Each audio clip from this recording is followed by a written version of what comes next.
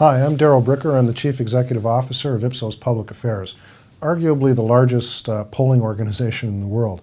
So we know a little bit about the topic that we're going to be talking about today, which is polling for journalists. What you need to know about those polls that are increasingly crossing your desk.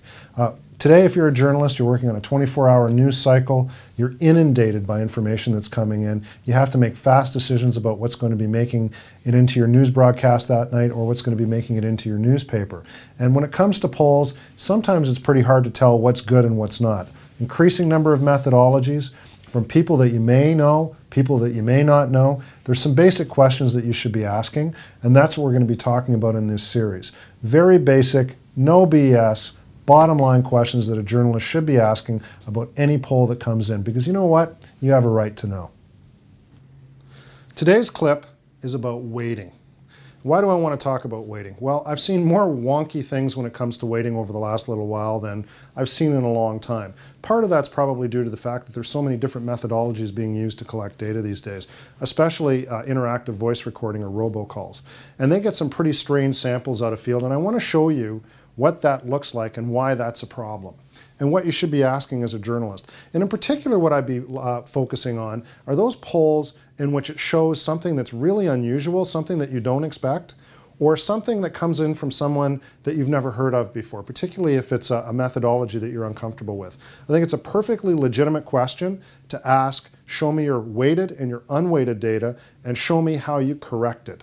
So I'm going to show you what that actually means in terms of correcting weighted and unweighted data. So imagine we did a survey. Here's one that looks like a survey, in which one of the categories that we looked at was age. And these are the age categories across the top 18 to 25, 26 to 45, 46 to 65, 65 plus. And what happened when they were in field is they actually ended up with a sample that looked like this 10 in the first category, 30 in the second category, 25 in the third category, 35 in the next category. But they know that in the real population, it's an equivalent number at each category. So it's 25, 25, 25, 25, which adds up to 100.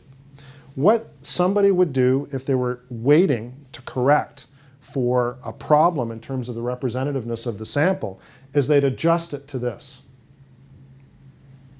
Now, as you can see, there's very little resemblance between what they actually got out of field and what they say the survey is. When somebody makes those types of adjustments, you really should have a good look at that. And the reason for that is because this is almost like creating interviews or subtracting interviews in certain senses and giving way more importance to certain groups of the population that may actually not be representative. That's why I keep banging on, if you follow me on Twitter, about show me your unweighted data, show me your weighted data. I want to see how you've made those adjustments. The next thing is, I want to know how many different variables you did that for. I want to know if you did it for gender. I want to know if you did it for income. I want to know if you did it for age. I want to know if you did it for education. Whatever the variables were that you were weighting against should be disclosed, not just to say, we weighted it to represent the general population. I want to know how many different ways you did it. The next thing I'd want to know is any non-demographic variables. Did you weight according to previous vote? Did you weight according to likelihood of turnout? Did you weight according to anything else that doesn't have anything to do with demographics? They should disclose that and they should show what the impact is.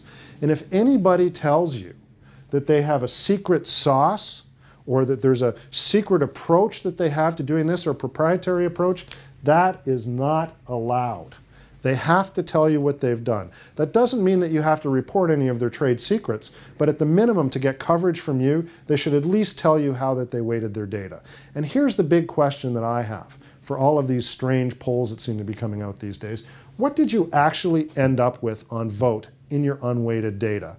And how much did you correct to create the vote that you're reporting? To me, if there's a massive amount of change between what they got out of field and what they reported, that has no resemblance to what a real survey or a real poll should look like. It doesn't mean that it's not worth looking at, but that's not a poll, that's a model. That's somebody's estimate of what they think the real world is going to do rather than something that's being generated as a result of the public opinion information that they got from their survey.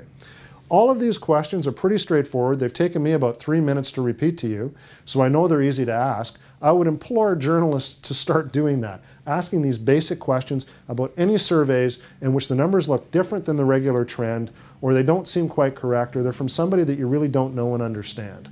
Because you know at the end of the day, you have a right to know.